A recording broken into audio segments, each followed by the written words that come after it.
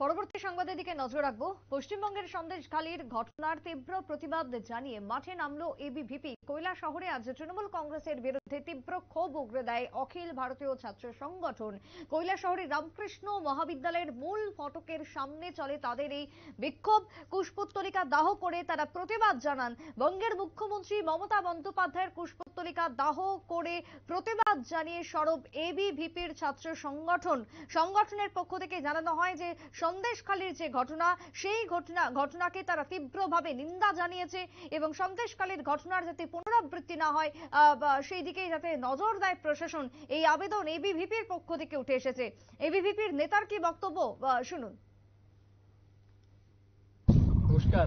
আপনারা সকলে অবগত আছেন যে গত জানুয়ারির পাঁচ তারিখ থেকে যে পশ্চিমবঙ্গের যে সন্দেশখালীর মধ্যে আমাদের নারীদের উপর যে তৃণমূল কংগ্রেসের যে স্বৈরাচারী সরকার, যে গুন্ডাবাহিনীর দ্বারা আমাদের নারীদের সম্মান লুটা হচ্ছে এমনকি তাদের যে পার্টি বিষ রয়েছে, পার্টি বিষয়ের মধ্যে আমাদের মা বোনদেরকে নিয়ে তারা সম্মান লুটছে।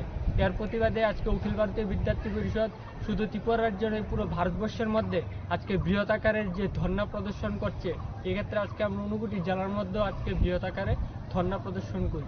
আমরা বার্তা দিতে চাইছি, যদি মমতা ব্যানার্জি তার সুষ্ঠু তদন্ত না করে, ভবিষ্যতে অখিল ভারতীয় বিদ্যার্থী পরিষদ বৃহৎ থেকে বৃহৎ আন্দোলনে যাবে এবং তা কতটুকু রূপ ধারণ করতে পারে মমতা ব্যানার্জি তার ধারণা নেই। অখিল ভারতীয় বিদ্যার্থী পরিষদ ছাত্র সংগঠন শুধু ছাত্রদের সাথে নয়, সমাজের সাথে রাষ্ট্র সাথে কতটুকু প্রভাব বিস্তার করতে পারে, তার মমতা ব্যানার্জি এখনও ধারণা করতে পারিনি মমতা ব্যানার্জি বুঝবে আজকের পর থেকে, আজকে ভারতবর্ষের মধ্যে যে বৃহতাকারের যে ধর্ণা প্রদর্শন হচ্ছে প্রত্যেকটা জায়গার মধ্যে, তারপরে মমতা ব্যানার্জি তার থেকে অনেক কিছু শিক্ষা পাবে এতটুকুই বলতে চাই।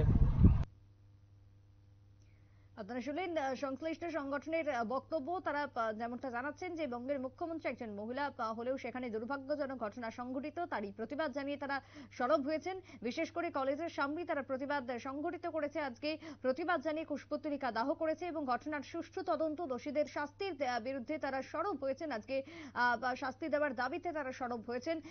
ইতিমধ্যে এবিভিপির পক্ষ থেকে তারা এই আন্দোলন চালিয়েছে। কৈলাস শহরের কলেজের ঠিক সামনে বঙ্গের সন্দেশখালীর যে ঘটনা, তাকে তীব্র নিন্দা জানিয়েই এবিভিপির পক্ষ থেকে এই প্রতিবাদ কর্মসূচি। ছোট্ট বিরতির পর ফিরছি, সঙ্গে থাকুন।